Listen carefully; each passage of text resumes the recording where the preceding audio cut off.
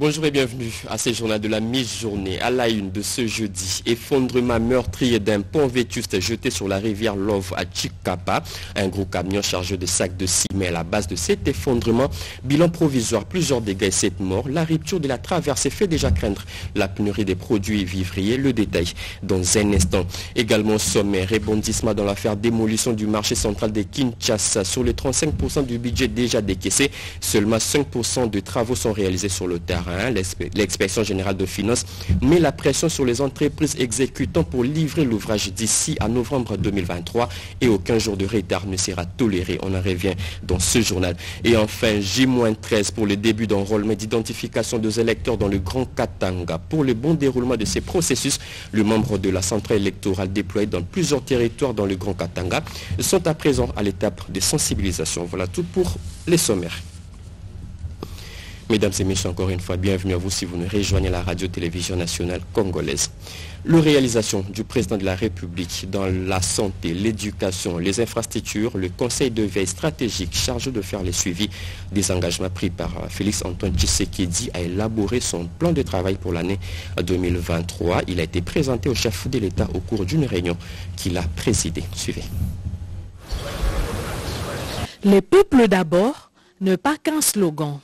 Le président de la République, qui veut à tout prix matérialiser cette idéologie, a présidé ce mercredi 11 janvier la Cité de l'Union africaine la troisième réunion du comité des pilotages du Conseil présidentiel de veille stratégique. Les coordonnateurs de ce service spécialisé de la présidence de la République, François Mwamba Chichimbi, a indiqué que les buts de cette première rencontre de l'année est de soumettre au chef de l'État la feuille des routes pour l'année 2023. Ce que nous avons fait aujourd'hui à l'ordre du jour, nous avions à présenter notre plan de travail parce que on ne se lève pas un matin, on dit voilà ce qu'on va faire. Les choses se préparent et que donc nous sommes venus ici soumettre au président de la République notre feuille de route pour l'année 2023. Qu'est-ce que nous allons faire à partir du 1er janvier jusqu'au 31 décembre de cette année? Donc ce plan a été adopté, a été validé. Et donc il ne reste plus qu'à se mettre au travail, n'est-ce pas?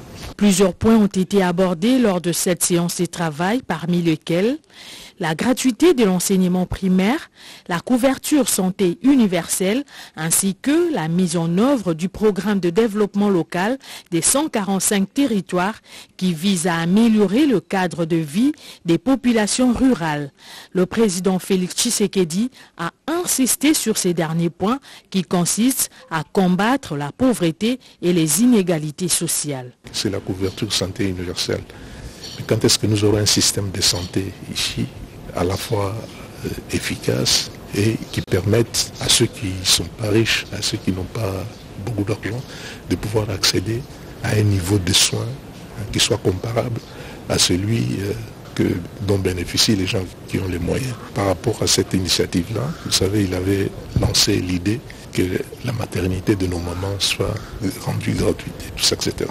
Les conseils présidentiels de veille stratégique est une structure technique qui a pour mission de suivre et d'évaluer la mise en œuvre des engagements du garant de la nation repris dans le programme commun du gouvernement afin de faciliter la prise des décisions stratégiques pour la nation.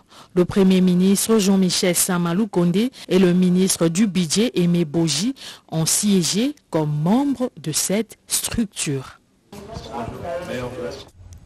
Il a fallu attendre près de 63 ans pour voir enfin le gouvernement congolais construire de nouvelles universités. Plusieurs chantiers sont déjà ouverts dans différentes provinces de la RDC. De précisions fournies hier par le ministre de l'enseignement supérieur universitaire Mouindou Nzangi lors d'une conférence de presse co-animée avec le ministre de la communication et médias Patrick Mouyaya. Le grand ligne de ces face-à-face avec la presse avec Joël Kaimbe.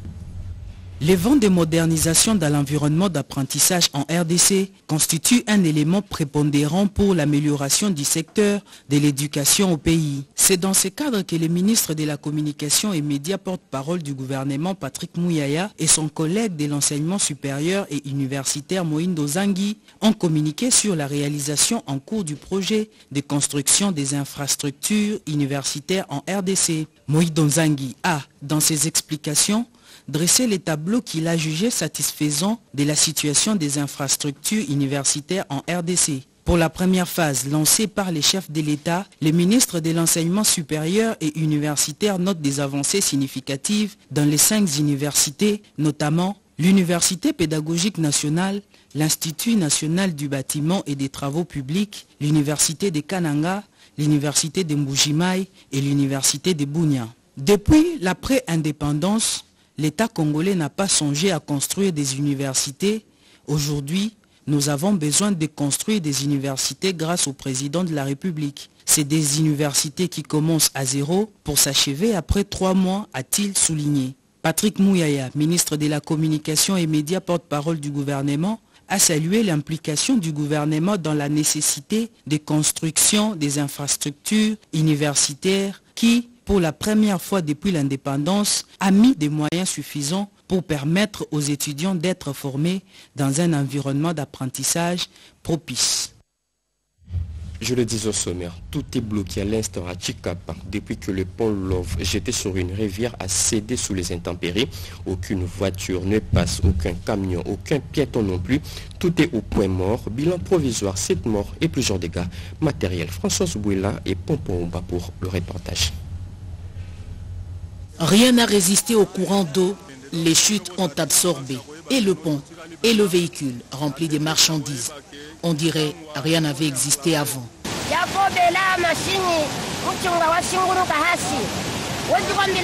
Nous avons vécu un fait inimaginable. Le pont est englouti par la rivière. Nous avons été surpris par un grand bruit de la chute.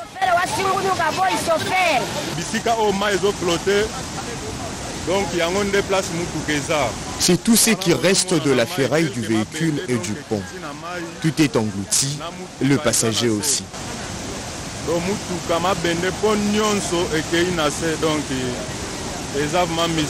Triste, les populations de l'autre rive réalisent que la communication est rompue, comme l'explique le député national Guy Mafuta. Ils ont vu de courir, ils ont vu le, le camion s'enfoncer dans l'eau, dans les chutes et jusqu'à disparaître. Et avant de traverser, il y a eu des passagers qui avaient peur, qui étaient descendus. Certains, notamment une femme et trois enfants, et malheureusement, on a enregistré sept morts au regard des témoins vivants sur place. Il y a intérêt de faire diligence pour éviter la pénurie à Chikapa. C'est une route importante qui du coup met en mal le marché de consommation de la ville de Chikapa parce que c'est une route de dessert agricole par laquelle plusieurs produits vivriers passent et aussi la veille de l'enrôlement. L'enrôlement commence le 24 prochain à, au Kassai. À la veille de l'enrôlement, c'est deux secteurs qui sont coupés du monde. Aussi, il faut penser à ces deux zones de santé, de santé importantes qui doivent être alimentées en produits. Le camion précipité dans les chutes transportait du ciment. Le pari de prendre un vieux pont était risqué. L'infrastructure devrait être remplacée depuis longtemps pour éviter ce drame avec mort d'homme. La situation sécuritaire dans l'est de la RDC débattue longuement à Bruxelles en Belgique. Le président du Parlement de la région de Bruxelles en a discuté avec le président de l'Assemblée nationale de la RDC, Christophe Mbosso, qui séjourne en Belgique, prévoit aussi des rencontres avec plusieurs personnalités belges. Sylvie Mouembo pour plus de précisions. Kinshasa et Bruxelles partagent un lien historique depuis des années. La voix de la République démocratique du Congo dans la capitale européenne a été portée par le président de l'Assemblée nationale, Christophe Mbosoko Diapwanga, auprès de Rachid Madran, président du Parlement de la région de Bruxelles en Belgique. Il lui a été exprimé l'engagement du président de la République, Félix-Antoine Tshisekedi Chilombo, pour le retour de la paix dans la partie est de la RDC qui ne font l'ombre d'aucun doute, ce malgré les soutiens du Rwanda au groupe terroriste du M23. Le soutien de son Parlement est très attendu. Au cours de 2023, année électorale en RDC, les élections auront lieu dans les délais constitutionnels. Nous sommes venus en visite de travail en Belgique, rencontrer les autorités belges pour leur présenter la situation de la République démocratique du Congo. En même temps, en profiter pour remercier les autorités belges pour les efforts qu'ils consentent à accompagner la République démocratique du Congo pour retrouver la paix face à l'agression rwandaise. Le jumelage entre les villes est une priorité pour Christophe Mbosoko Diapwanga. Le speaker de la Chambre basse du Parlement a été reçu par l'échevine chargée des relations internationales de la ville de Charleroi avant d'aller visiter les chantiers de la future cité des métiers. À Charleroi, nous pouvons nous enorgueillir d'avoir une communauté africaine unie, active et très investie dans la vie culturelle, sociale et associative. Certains de ses représentants sont d'ailleurs présents parmi nous aujourd'hui. Je profite de cet instant pour vous remercier d'être si impliqués d'ailleurs dans la vie culturelle et festive de Charleroi. C'est votre dynamisme qui nous permet de nous rencontrer si souvent, de préserver des liens et de partager des moments de convivialité. L'agenda du président de l'Assemblée nationale prévoit sa rencontre avec le Premier ministre belge et autres personnalités belges. Coopération présent en 17 ans, la ville de Namur a accompagné plusieurs communes de la ville de Kinshasa dans l'amélioration des services de l'État civil. L'évaluation a été faite au cours d'un déjeuner de presse auquel a pris part le président du Sénat congolais, Modeste Bati Lukwebo. Sandra Nyangi Tabou Gelorkin Pianga ont signé ces reportages. Le président du Sénat Modeste Bahati a été informé du niveau de la coopération entre la ville de Namur et la commune de Massina au cours d'un déjeuner organisé par la déléguée générale Wallonie-Bruxelles à Kinshasa, Catherine Brahi. Modeste Bahati a été informé également des différentes actions que mène la ville de Namur dans le cadre de sa coopération avec la commune de Massina. Cela va de la construction des bureaux des quartiers, la réhabilitation des certains, à l'élargissement de ce partenariat dans le secteur de santé. Maxime Prévost, qui est également président du parti politique Les Engagés, a profité de ce déjeuner avec le speaker de la Chambre haute du Parlement pour aborder les relations entre la RDC et la Belgique sur fond des avancées relatives à la reconnaissance par le Royaume de Belgique des abus liés à son passé colonial. Nous avons eu l'occasion, avec Monsieur le Président du Sénat, avec Madame la directrice de cabinet adjointe du Président de la République, eu l'occasion d'évoquer une série de dossiers qui concernent l'évolution du paysage politique belge, les relations entre la Belgique et, la RDC, à l'heure où la Belgique a fait un travail aussi destiné à, améliorer sa reconnaissance aussi de son passé et avec à la clé des interrogations politiques sur la nécessité ou les modalités de la présentation des excuses par exemple. À noter qu'au-delà des collaborateurs du bourgmestre de la ville de Namur, le président du Sénat, la directrice de cabinet adjointe du chef de l'État, quelques représentants de la société civile et journalistes ont été associés à ces échanges. J'en reviens sur ce que je dis au sommaire. Un ultimatum lancé aux entreprises qui exécutent le travaux au grand marché de Kinshasa sur la route Lingessa et celle chargée de l'éclairage public pour finir le travaux d'ici la fin de cette année. Cette mise en garde lancée par l'inspection générale de finances a été au cours d'une réunion. Aucun jour de retard ne sera toléré, a précisé Jules Linguette. Suivant. Une année après la démolition du marché central, les travaux de réhabilitation traînent encore le pas. Même constat avec le travaux sur la route Elenguessa et aussi avec l'implantation des plus de 2600 poteaux de l'éclairage public. L'inspection générale de finances appelle à contrôler actuellement tous ces travaux, à convoquer en urgence toutes les entreprises impliquées dans l'exécution pour une mise au point. S'agissant du marché central de Kinshasa, 35% du montant prévu ont été déjà débloqués, mais les travaux sont encore au niveau de la fondation, représentant ainsi 5% seulement de l'exécution physique. Les entreprises Sojema et Zengwen qui exécutent ces travaux ont été sommées d'accélérer les rythmes et ont pris l'engagement de livrer ces marchés à la ville de Kinshasa au mois de novembre 2023. Nous allons vous mettre sous haute surveillance. Vous êtes prévenus. Nous allons vous mettre sous haute surveillance et nous tenons à ce que ces marchés soient rendus à la ville de Kinshasa à la date prévue à savoir le 30 novembre. Il n'y a pas un jour de plus. S'agissant de l'avenir Lenguessa, l'entreprise Adi Construction qui exécute les travaux a promis de tout terminer dans un mois. Pour ce qui est de l'éclairage public exécuté par la société Solectra, 2500 socles sont déjà placés et la phase de la mise de poteaux démarre déjà au mois de février 2023. L'inspection générale de finances a prévenu toutes ces entreprises aucun retard ne sera toléré dans la livraison de tous ces travaux prévus déjà cette année. Notification de nouveaux dirigeants des entités territoriales décentralisées. Le ministère de l'Intérieur court derrière la montre. Après plusieurs provinces, hier, c'était le tour de ceux de la province de Bazouélé et Otouélé d'être notifiés par le vice-ministre de l'Intérieur qui séjourne dans ce coin du pays. Chimendundu pour plus de précision. Faisant d'une pierre deux coups, ayant expressement invité le gouverneur de province de Bas et Haute-Ouélé, les nominations de ces deux provinces étaient remises au vice-gouverneur, tandis que celle de Haute-Ouélé était remise à la gouverneure de la province de la Chopo. De la première occasion, car le gouverneur Christophe Basséané n'avait pas pu arriver à Kisongani.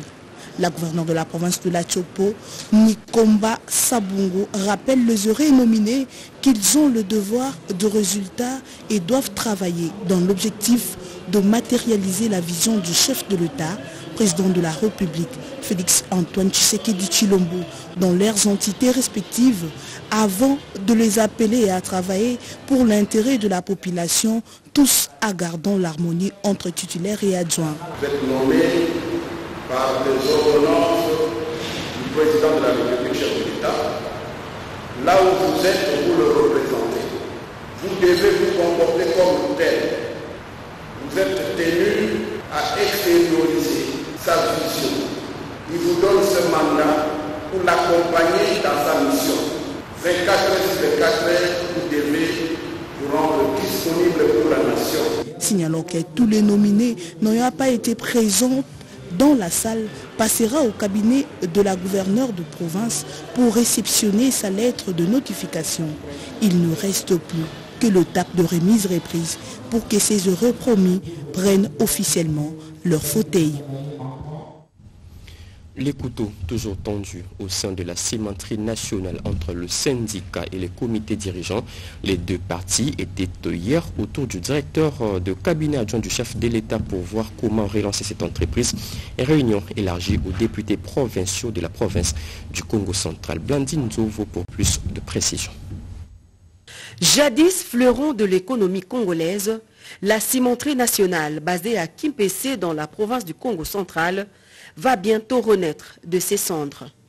Grâce à l'implication personnelle du chef de l'État, Félix-Antoine Tshisekedi Chilombo, la SINAT, dont la production est aux arrêts depuis plus de dix ans, va bientôt bénéficier d'un souffle nouveau.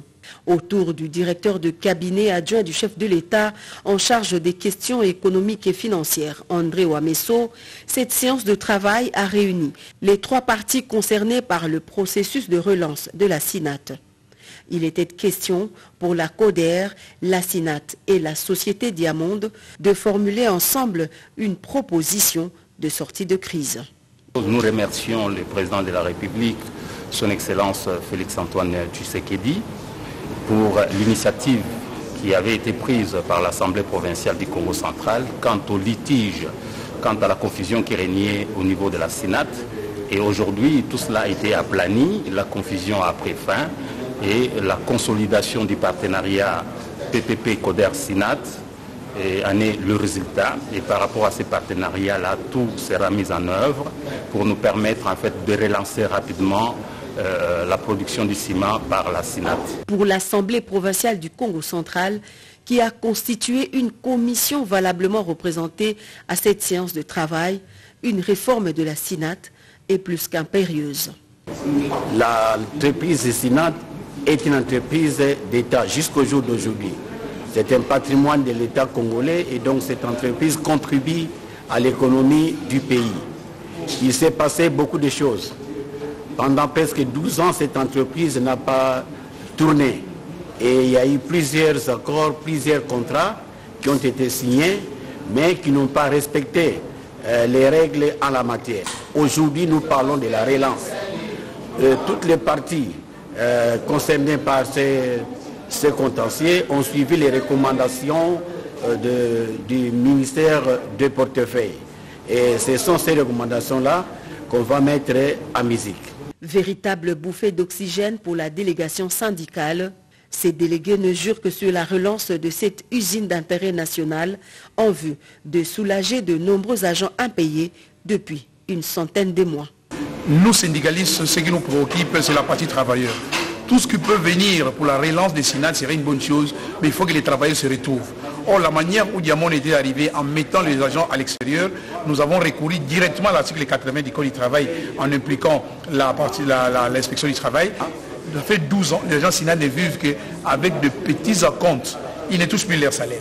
Les pensionnés, qui sont sortis en pension, mais qui n'ont jamais eu leur décompte final.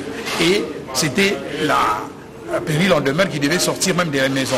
Heureusement, avec ces solutions ici, nous pensons que les choses vont bien marcher. Construit depuis 1974 sur demande du maréchal Mobutu, la SINAT n'a plus produit un sac de ciment depuis 2011. En attendant la finalisation du processus qui passe par plusieurs préalables, le directeur de cabinet adjoint du président de la République exhorte toutes les parties prenantes à se mettre rapidement au travail afin de présenter des propositions concrètes pour permettre finalement à la SINAT de connaître un nouveau souffle. Plus de 200 observateurs de différentes confessions religieuses seront déployés sur le terrain pour superviser le processus électoral. Pour l'instant, ils suivent une formation de deux jours pour soutenir davantage travaux supervisés par le président des églises de Réveil du Congo, l'évêque Dodo Kamba. C'est un reportage de Serge Merlin Mata et Raphaël Tsadi. Animée par les experts de la Commission électorale nationale indépendante, cette activité des 10 jours a tourné autour des enjeux éthiques de la collecte des données et de l'élaboration des rapports narratifs de l'observation du processus électoral. Lors de la clôture des travaux, l'évêque général Israël Dodo Kamba, président national de l'église des Rêves du Congo et président de la plateforme des confessions religieuses, a fortement exhorté les participants à capitaliser les nouvelles connaissances apprises et acquises devant leur permettre de remplir pleinement leur mission d'observation électorale. La tâche qui vous attend exige le respect du code de bonne conduite. Mettez donc en pratique tout ce que vous venez d'apprendre pendant ces deux jours de formation. Et surtout, veillez à ne jamais faillir à la mission qui est la vôtre. Cette séance des mises à niveau a été d'une importance énorme pour ces 200 observateurs à long terme de la première ère opérationnelle du réseau d'observation des confessions religieuses. Fiers de cette formation, nous permettons d'être à la hauteur de la tâche qui nous sera confiée. Cet atelier de renforcement des capacités a été organisé entre autres dans le souci d'accompagner et de contribuer à la crédibilisation du processus électoral en cours et à la consolidation de la démocratie en République démocratique du Congo. J-13 pour le début d'enrôlement et d'identification des électeurs dans le Grand Katanga pour le bon déroulement de ces processus. Les membres de la centrale électorale déployés dans plusieurs territoires dans cette partie du pays sont à présent à l'étape de sensibilisation. Anastasie Doumbou. La Commission électorale nationale indépendante CENI s'engage à déployer ses agents à travers les entités électorales dans la province du Haut-Katanga. En fonction de ce programme, le personnel de la CENI dans la ville de Lubumbashi a organisé le mardi 10 janvier 2023 la marche de sensibilisation à l'enrôlement afin de vulgariser la participation massive aux cycles électoraux de décembre 2023 en République démocratique du Congo. Au cours de cette activité, les formateurs des formateurs de la CENI ont invité les majeurs et les Congolais résidant à l'étranger dans les pays concernés par les élections en République démocratique du Congo à se présenter au centre d'inscription en vue de se faire enrôler. En cette circonstance de sensibilisation au profit de l'enrôlement populaire, la responsable de la CENI dans le Haut-Katanga, Mimi Mukulumoya, s'est confiée à la presse. Une caravane que nous avons organisée pour annoncer euh, euh, l'enrôlement des électeurs très bientôt dans la province de Katanga, c'est-à-dire euh, le 25 janvier.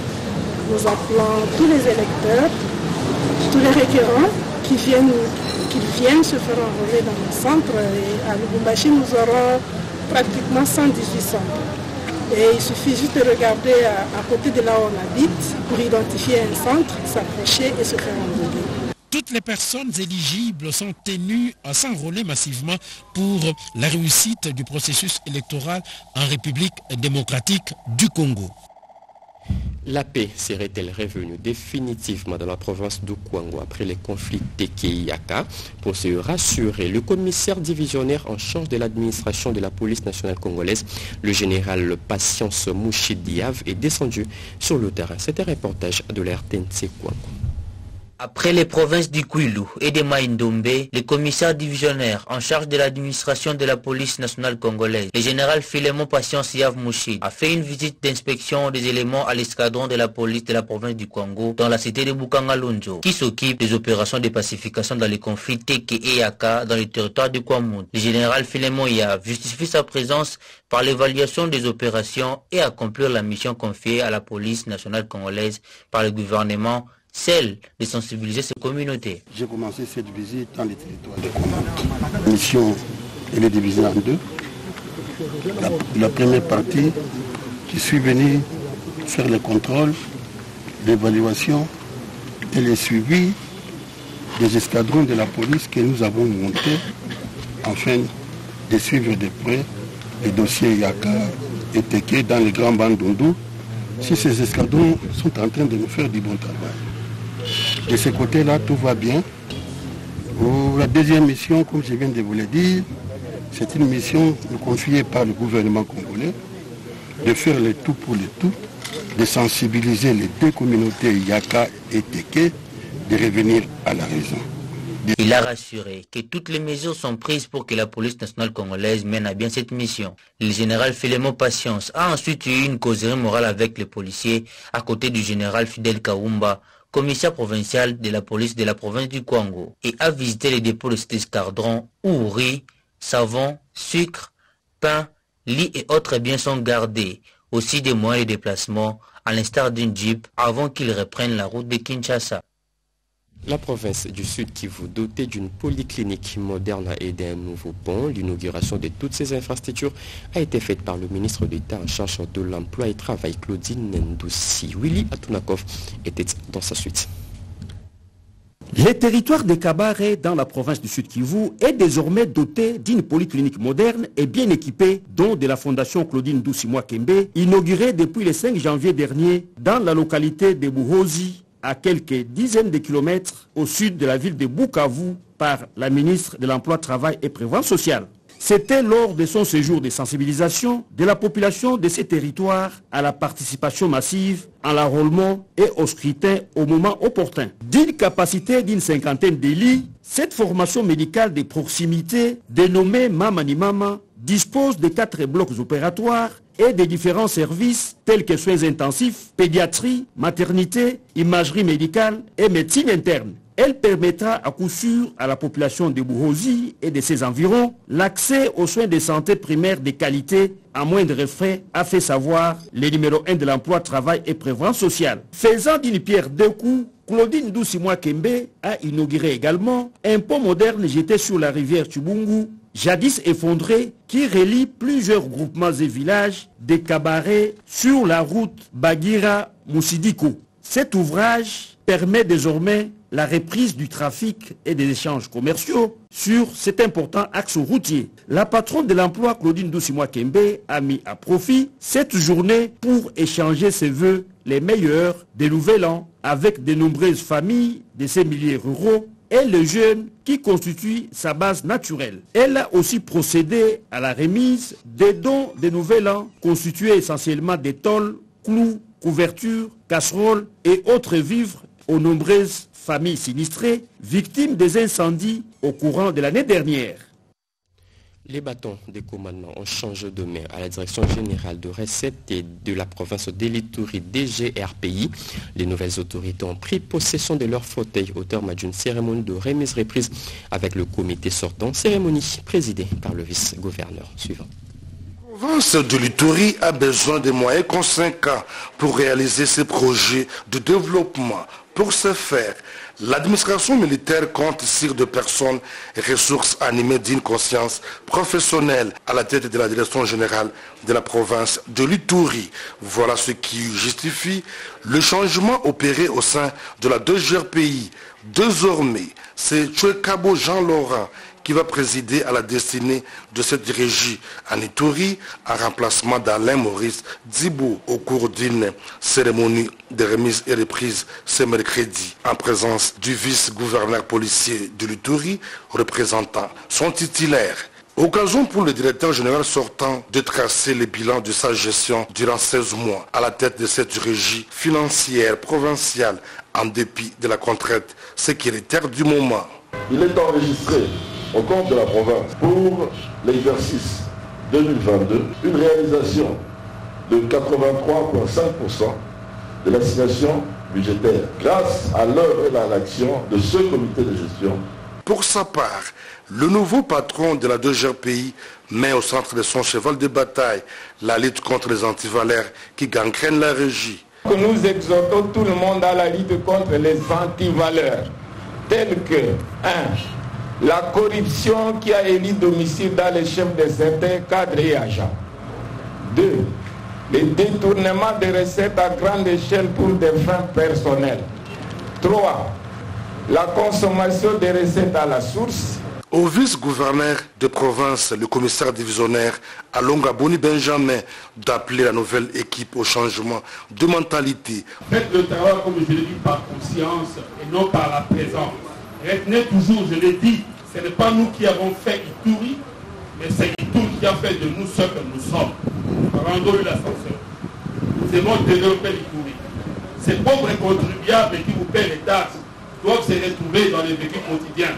Il faut dire que, bien avant cette cérémonie, l'actuel comité de gestion de la 2 pays avait réussi des instructions claires et fermes pour le bon fonctionnement de cette régie par le gouverneur militaire, le lieutenant général Lubuyanka Juni. C'est par ici, mesdames et messieurs, que nous bouclons complètement ce journal. L'actualité continue sur nos antennes. Retrouvez à 16h Tété Bungunja pour les actualités africaines. 19h Annie Mbalaka, 20h Sandra Nyangi Tabou. Moi, je vous retrouve demain à 7h. Au revoir.